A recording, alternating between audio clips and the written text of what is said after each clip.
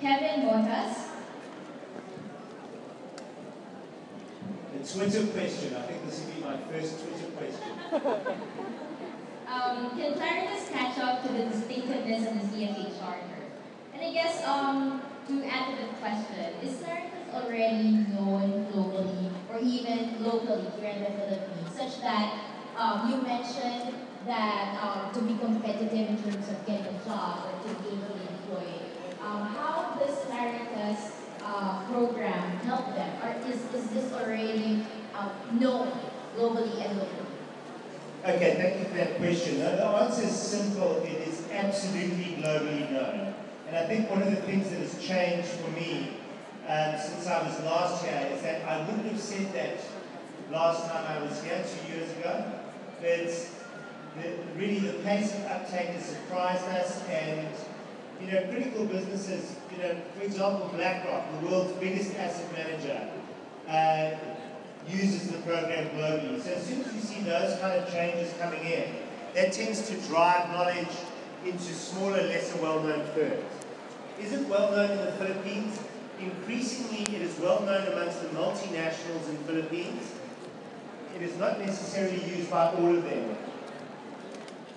The third part of that question is, will it catch up with the distinctiveness of the CFA program?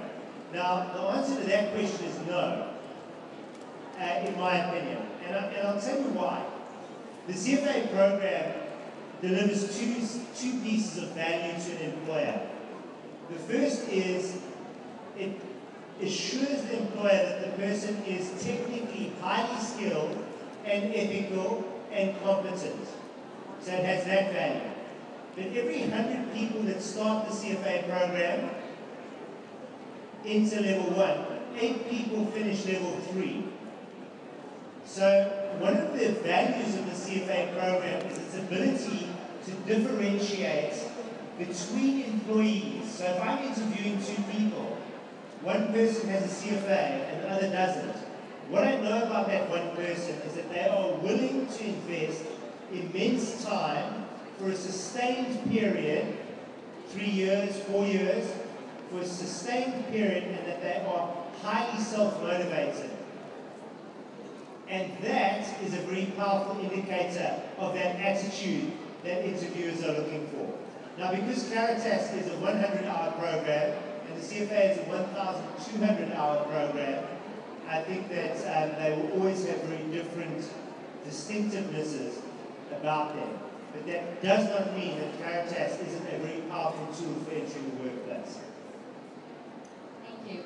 Um, so if they are still undecided, um, to, if they want to take, you know, a finance route in terms of their career, can they take the Claritas program first and then eventually take the CFA program, or is it a redundant thing? Um, I, I, in fairness to people here thinking about your money, I would answer that in two ways. If you are certain you want to become an investment professional, if you know that about yourself, then I would do the CFA program. If I didn't have a background in finance, I would do Claritas first to learn the language that I needed to perform in the CFA program. And that is not how we designed the program, I'm just telling you that's how the market is using it. So I've read the, the blogs and the LinkedIn pages numerous times, and that is the advice from people out there using it, saying, if you have a non-finance background and you want to do the CFA, do Claritas first to gain the language. Okay. If you are undecided about what you want to do with your life, then I think Claritas is an excellent option because I think you're going to see the breadth of the investment industry. That was something that was not apparent to me until I started working in investment, you know, broadly in the finance industry. As I say, I have an economics and law background and I'm an English teacher and I worked for many years in the hedge fund business. That kind of surprised me at the time. So guys, I think it's a very good um, opportunity for you to understand and learn more about the Claritas program. Has anybody um, uh, heard about the Claritas program before, before this? Can I see a show of hands? None? Okay, there's something there. That's nice. Are there any people here who have got a Claritas certificate? Oh, fantastic. There are a couple of people. So right. There we go. The people in this audience you can talk to. So, Richard, um, you mentioned that the program costs, you know, six hundred seventy-five, is it, six hundred eighty-five dollars. Um, does the program or CFA Institute offer scholarships? Yes, we do offer some scholarships at this stage. Well, let me answer this in, the first way, okay? For universities, we have a thing called the Claritas Academic Program. So if you're interested in this curriculum, speak to your faculty of finance or business about exploring the Claritas Academic Program. Because that way you can access many of the benefits of Claritas without a cost outside of your university program. And I know that Neil and myself and, and, and Florence were talking to university faculty during the lunch break. So that would be the first thing that I would say. So our scholarship system is through our Claritas academic program, if you like. To answer the question directly, we do offer some limited scholarships for Claritas. Those at this stage are for people who work in regulators only. Okay, so we have a regulator scholarship program for all of our programs, and Claritas is included in that. Thank you. Uh, maybe one last question. Uh, how do you, how, if you uh, apply or register for the program, um, does it come with books or even like online uh, reviews? And can you take the exam in time, or is there a specific period or the Okay, um, there is a specific window from registration to completion is six months. Right, you need to find 100 hours in six months.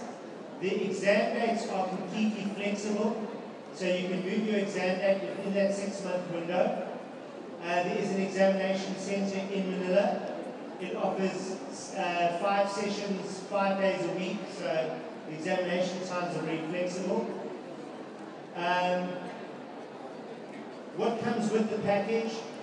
It's absolutely excellent. It is, it is all delivered electronically. It has videos. It has an app, which I think is probably the way most people access the materials. I spoke to someone, a client of mine yesterday in Metro Manila. She travels in total to work and back seven hours a day. All right, now that is more than I travel to work and back each day. And the one comment that I would have is the mobile app is probably very heavily used because people can access the materials in that way while they're on the go. Uh, there are excellent formative assessment tools. There are learning outcome statements, chapter end questionnaires. There are full formative assessment tools. In other words, tests that you can take to check your exam readiness and answers that are explained both why they're right and wrong. So it's a full learning suite. That's a good uh, use of traffic time. Absolutely. If you've got seven hours a day, I know where you can find your 100 hours pretty easily. Yes. All right. Thank you so much, Mr. Richard. Thank you.